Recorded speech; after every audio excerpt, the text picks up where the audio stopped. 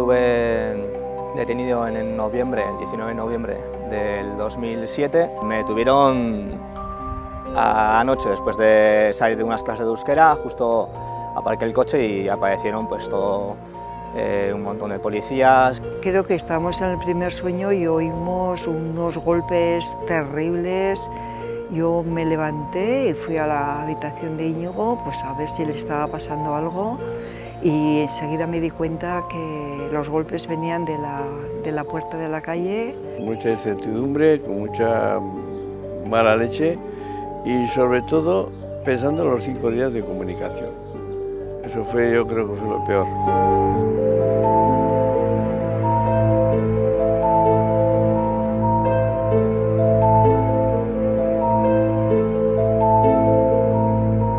Los golpes venían de la, de la puerta de la calle y claro, me di cuenta que estaban pegando con una maza intentando tirar la puerta. Abrí la puerta y bueno, me encontré una serie, bueno, unos policías encapuchados, uno con una maza, el otro con, con armas. Eh, me sacaron al rellano de la, de la escalera, ellos chillaban como, como, en las películas y allí ya me encontré mal y nada, me desmayé. Luego llamaron una ambulancia y me llevaron al hospital. Luego ya nos vino la preocupación de la detención, de dónde estarían y, ya empiezas a hablar con gente y piensas en la incomunicación, en las torturas. Tanto te amenazaban con detener a alguien de tu familia, eh, te golpeaban en el cuerpo, te hacían hacer muchísimo ejercicio físico, ¿no? hasta el momento que caías al suelo, te levantaban y te ponían otra vez en esa postura y seguías y así continuamente. ¿no? hasta el punto que, tu cabeza ni siquiera funcionaba bien. Yo decidí no declarar y, y después de eso aún mucho más duro fue. ¿no? Se ve que, les, les, dolió bastante, que no pudieran, no tenían nada donde de agarrar, nada que no fuera algo sacado mediante la tortura. ¿no? Entonces me dijeron, bueno, pues eh, en vez de tres días vamos a prolongar la, la estancia con nosotros durante dos días más, hasta el máximo de cinco. ¿no? Y en ese momento, pues, hoy es de, de tres a, ya al máximo a cinco días y se te cae el, el, alma al suelo. ¿no? Es como que, como que ya no puedes más. Y sabías que, que te pueden hacer todo lo que quisieran contigo, nadie se iba a enterar, ¿no? Y estabas totalmente indefenso.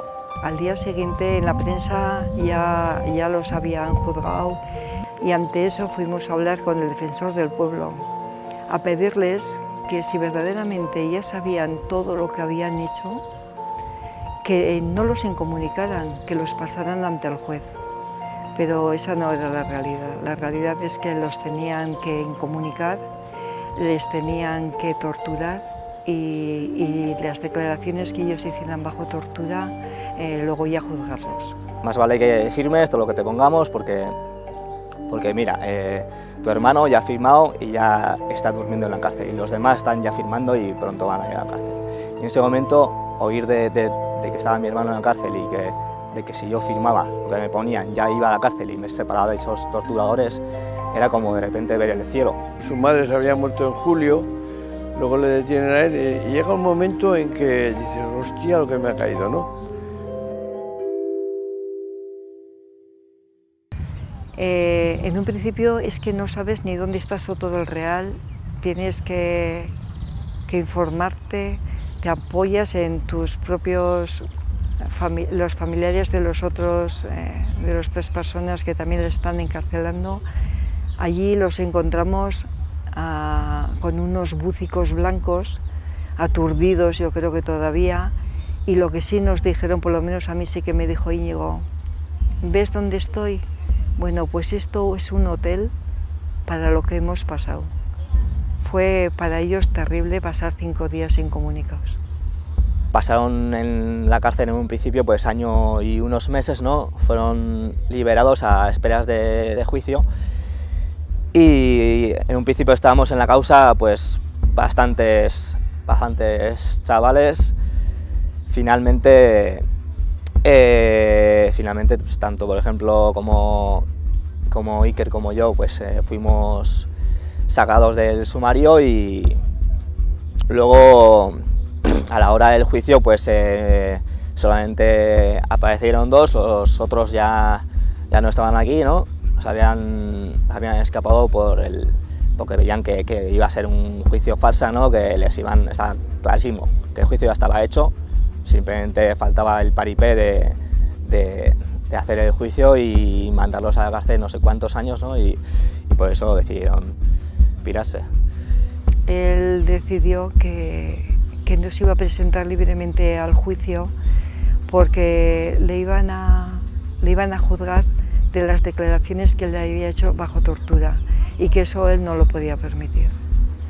Y bueno, pues decidió eh, irse, eh, huir. ¿Qué piensas cuando una persona está huida, está por ahí? Dice, piensas más que todo en que cómo comerá, que si se, cómo se vestirá, eh, si cae enfermo, eh, todas esas cosas, ¿no? El día a día.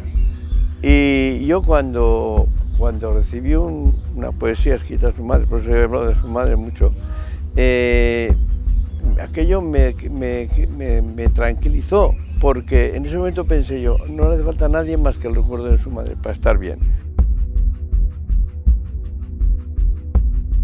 Es el momento en el que los dos presuntos miembros de ETA abandonaban esposados la vivienda en la que fueron detenidos. Se daba así por finalizado el registro llevado a cabo por las fuerzas de seguridad durante más de 10 horas. José Javier Osés ha estado arrestado en numerosas ocasiones por actos de violencia callejera cometidos en Pamplona entre 2004 y 2007. Las policías alemana y española han detenido en Berlín a dos eh, miembros de ETA. Los detenidos son Miquel Barrios Santamaría e Íñigo Gulina Tirapu, sobre quienes pesaban órdenes europeas de detención y formarían parte del aparato de falsificación de la banda terrorista ETA. Y a los cinco años de haber huido, mmm, apareció en Berlín, o, lo encontraron en Berlín, allí estaba trabajando y bueno, pues pidieron la orden el Estado español y le concedieron. Eh, lo trajeron a Soto del Real y en este momento, es, bueno, en Soto del Real estuvo como un par de meses y ahora está en la cárcel de Jaén. Eh, Jotas en, en, Francia tiene una condena, ha tenido una condena de 8 años, eh, más el tiempo que ha estado en España puede ser unos 10 años en total. Ya tenemos fecha de juicio que será el 9, 10, 11 y 12 de julio. Es que desde el principio sabía claramente que, la, que no tenían nada contra nosotros más que, lo que todo lo que pudieran sacar de las torturas, ¿no? Si se quitaría eh, todo lo, lo, sacado mediante la tortura, se quedaría en, en, cero y no tendría ningún sentido siquiera para, ni, ni siquiera para, para, el juez el, el tenerlos en prisión. ¿no?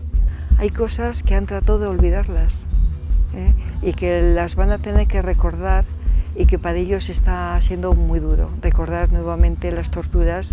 Y lo que nos queda, ¿no? Lo que nos queda. Ahora viene ahora el juicio. Eh, después de haber pasado todo lo que hemos pasado, yo soy de los que piensa que hay que ir pensando en lo peor.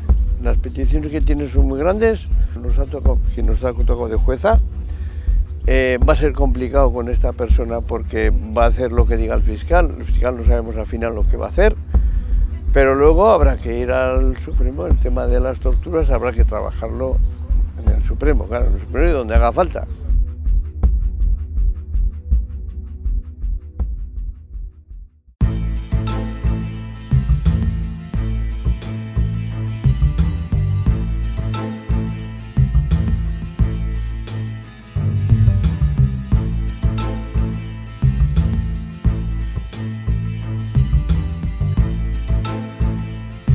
En este país eh, se llevan más de 10 años intentando dar pasos para, para acabar ya con la disputa política violenta que, que, ha existido. Por un lado se han dado ya todos los pasos que se podían, por el otro lado siguen pum, pum, pum, eh, empleando esta, esta violencia política. ¿no?